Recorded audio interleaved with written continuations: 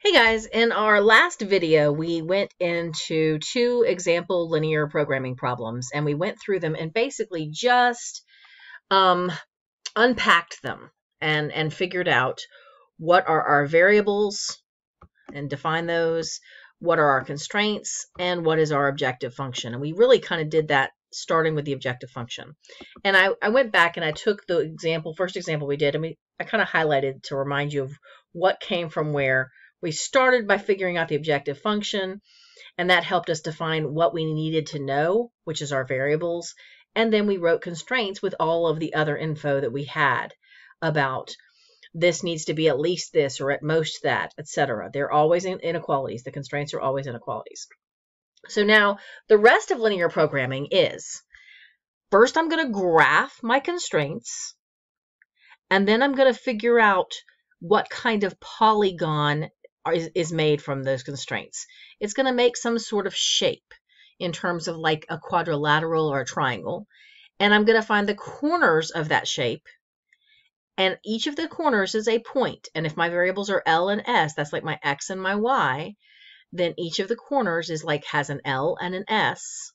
And I'm going to plug in each of the corners into the objective function and figure out which one gives us the maximum profit because it turns out this is the beauty of linear programming is it turns out that if you have a polygonal region that is indicated by some several constraints that any maximum or minimum of those constraints is going to happen at the corners. So that's why we're looking at the corners.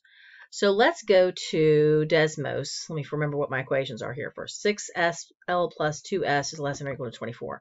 And I'll probably have to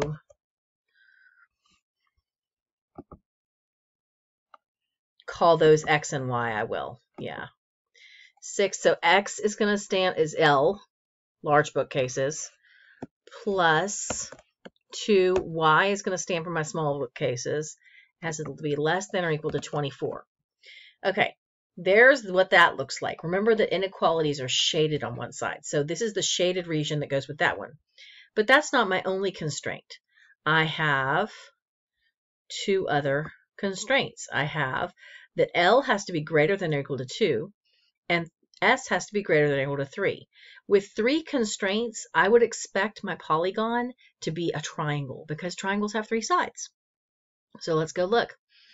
L is greater than or equal to 2. Remember, L was x. So x has to be greater than or equal to 2. Okay, so that's indicated by that shaded region that's blue. And y the small has to be greater than or equal to 3, I believe it was. Let's just go look to make sure. Okay. Now, when you have several different inequalities, let me see if I can zoom out a little bit here. There we go. When you have several different inequalities and that you have a shade, that means you have several different parts of your graph shaded the actual solution to all of them as a system of inequalities, which is basically what you're doing. You're making a system of them. And I don't know why I have squared there. Let me take that off. That's much better. Um, the actual part that is indicated by as the solution to that system, the place where all of them are true, is going to be where all of them are shaded. So let's zoom back in. There we go. That's much better. So in other words, this triangle is where all those shaded areas overlap. So all the points that are in this triangle or on the edges of this triangle, since all of these say or equal to, let me move this over so you can see the shading colors. Since they're all or equal to, that means the lines themselves count, count as well. But that's where the points are that would fit all three of these constraints. Now, what I was saying is the special thing about this is it turns out that the corners will give us the most special points, basically. Any maximum or minimum value is going to happen at the corners. So if I find the corners of this, then I know that one of them is going to be my maximum profit, one of them is going to be my minimum profit period every time the optimal the the optimized points basically are going to happen at the corners Now, I did this with Desmos. What if I'm doing it by hand? Well, remember x equals a number as a vertical line. And then you have to decide whether to shade on the left or the right of it based on where is greater than 2. y equals a number is a horizontal line. So I draw my horizontal line. This is y right there, y equals 3. And then you shade based on what is greater than or equal to 3. That, So that's above. This is just your run-of-the-mill linear equation you can do it two different ways. Um, the most common way we graph a linear equation is we put it in slope-intercept form, y equals mx plus b, and then we go find the y-intercept, and we count off the slope to find the next point, and count off the slope to find another point, etc. This one actually lends itself toward another way that we sometimes graph things, uh, lines, and that is by finding both the x and the y-intercept. If I was doing this one by hand, I would probably find the x-intercept by plugging in y is 0. If y is 0, this whole part right here becomes 0. So 6x equals 24 tells me that my x-intercept is at 4. And there it is. And then if I do the same thing to find the y-intercept, 0 goes in for x, so I just have 2y equals 24, so the y-intercept is going to be at 12. Whoa, there it is. And so then I have that line. Okay, the more precise you can be, the better you're going to be able to see these points. But sometimes the points are not easy to see on the graph. Sometimes they're not right at um, pretty numbers, you know, whole numbers. So sometimes what we have to do is we have to solve the system of equations where those two lines interse intersect to figure out or to figure out where the two lines intersect. And that's a system of equations problem. This one, it would be a pretty easy to, system of equations to solve.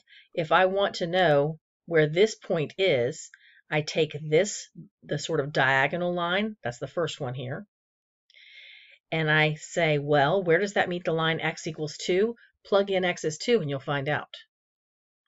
Same thing here for this point right here. If I want to know where this line meets the line y equals 3, well, plug in y equals 3 right here and I'll find out. Okay, so now we have, once we have shaded it, we've graphed everything, we see where the shaded areas overlap, we see what kind of shape it is, a quadrilateral or a triangle usually, and we find the corners, now we go back and we take those three points, 2, 6, 2, 3, and 3, 3. All right?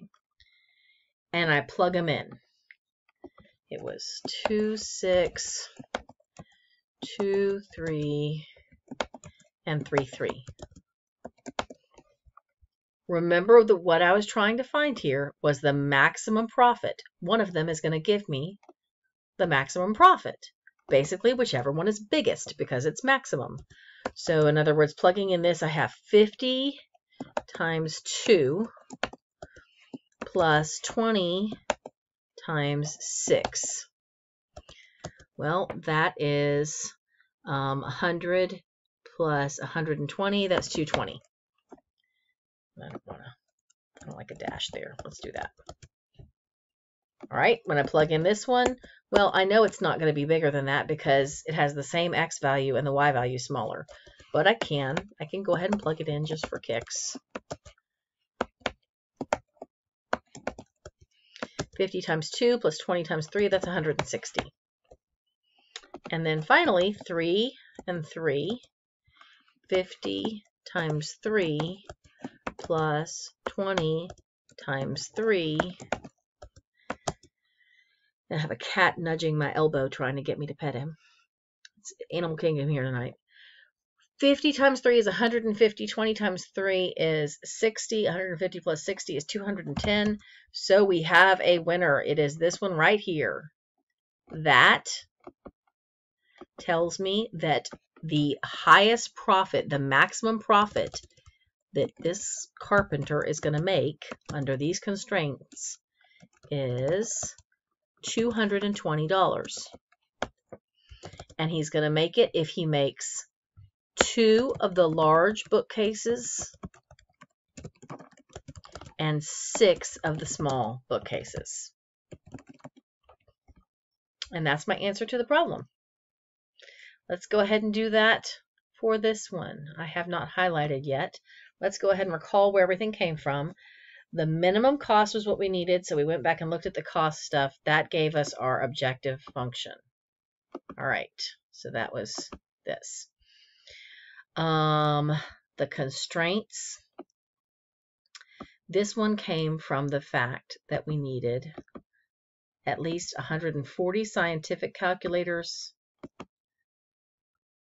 plus or 140 per day that factory A could produce plus the 90 per day that that sorry plus the 60 per day that factory B could produce to be over 460 together.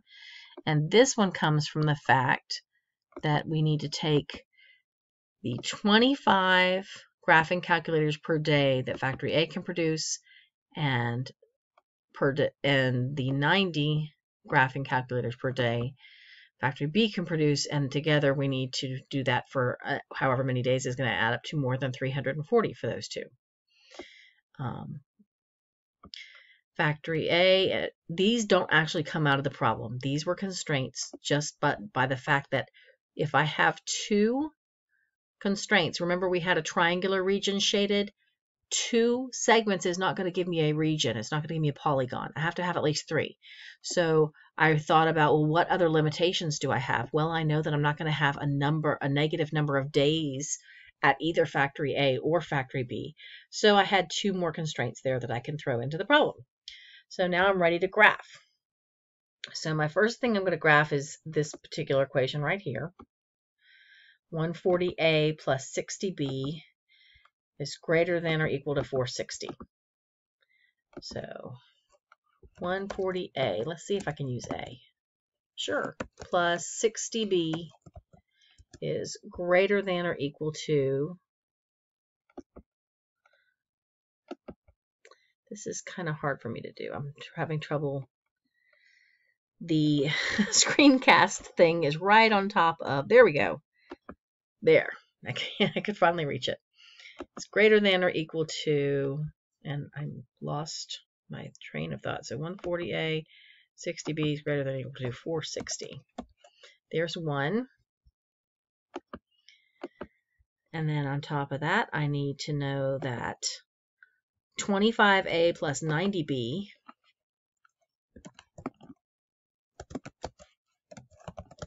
has to be greater than or equal to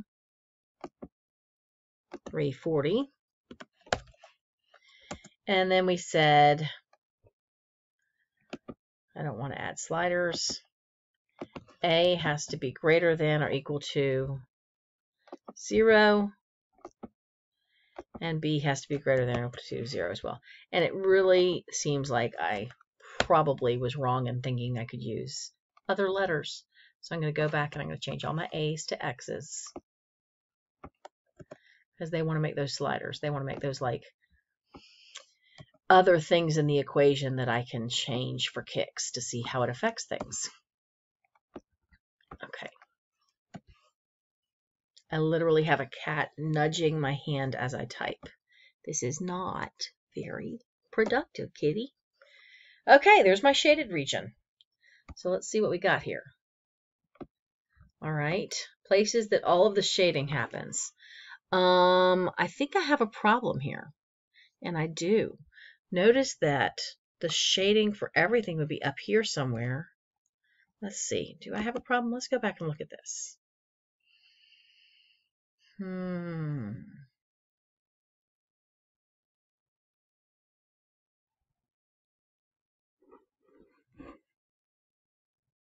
That's interesting.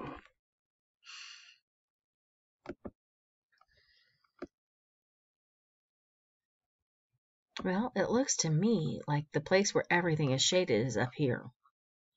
So we don't have a upper limitation here. So could we, is there any other upper limitation we could come up with the problem? Hmm. I don't really see that we have one. I don't know that we really need one in this particular problem because we're going to be looking at the minimums. We want minimums um, minimum cost. So we're going to want the boundaries that are lower. We wouldn't want any that were out here bigger. Um, but that's a kind of an interesting situation. Usually we're given other, we're given enough boundaries that we really have a closed polygon. We don't really have one here. Okay, we have one down here, but does that one help us? Let's see, is that one the shaded area? I don't think so. Yeah, it's not. The place where everything is shaded is out here. So let's look at this corner. Where is it that these two meet? Looks like it's right there. And this corner and that corner. So these are my numbers I'm going to plug in and see which one is going to give me the minimum cost. So 0 and 7.667.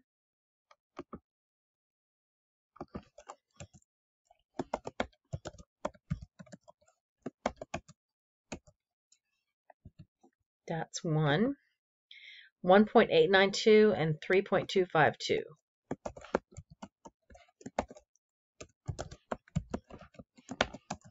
And 13.60.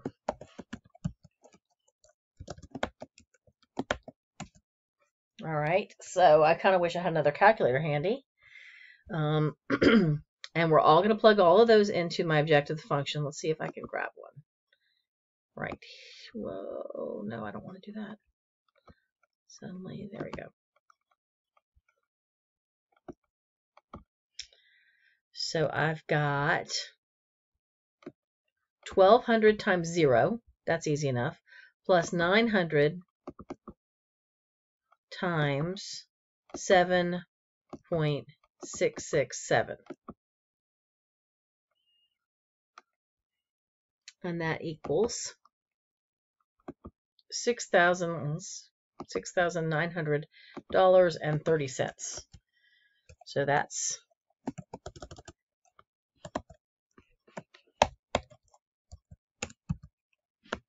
that's the cost of running factory B only for 7.667 days. Okay. Let's look at the cost for factory A for 1.892 days plus, okay, that didn't really help me. Okay, factory A is 1200 times 1.892 plus factory B is 900 times 3.252. That gives me a cost of $2,926.80. $2,926.80, I think that was. That's already looking better. And the last option is factory A only for 13.6 days. Well, I'm pretty sure that's definitely going to give me yeah, a lot higher. 18,590. Uh, 18,000, 590 and 40 cents. Okay, so definitely the minimum cost comes from operating factory A for 1.892 days and factory B for 3.252 days. So I would say this is the minimum cost. And I would probably go ahead and say factory A for two days and factory B for four days. And that is my optimized function. Now, this is not honestly the odd, this is to me not the ideal problem. There's some issues with this problem. But that's how you do it, regardless. So hopefully that helped you. Thanks so much for watching. Bye.